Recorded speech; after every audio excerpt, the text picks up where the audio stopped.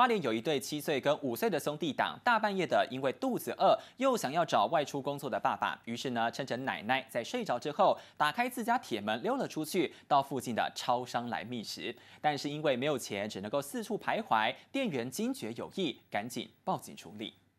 深夜的住家，只见铁门被拉开一个小缝，两个小小的身影探出头，灵巧钻出，使劲拉开比身高还要高的铁门，在花莲后站逛大街，目的地在这里。七岁和五岁的兄弟党神爷肚子饿，想找外出工作的爸爸，趁着奶奶睡着后偷溜到离住家约一百公尺远的超商买食物，但因为身上没钱，在店内来回徘徊。店员察觉异状，赶忙报警处理。住哪里？知道吗？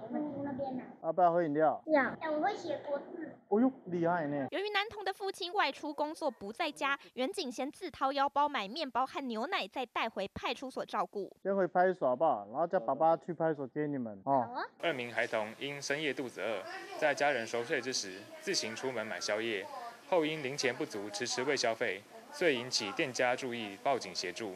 警方立即掏腰包买宵夜给二名孩童果腹，并通知家长到派出所来将孩童带返家休息。男童父亲接获通知，连忙到派出所接回孩子。深夜外出惊魂，所幸男童遇见热心的远景，平安回到家人身边。记者陈敬业回来报道。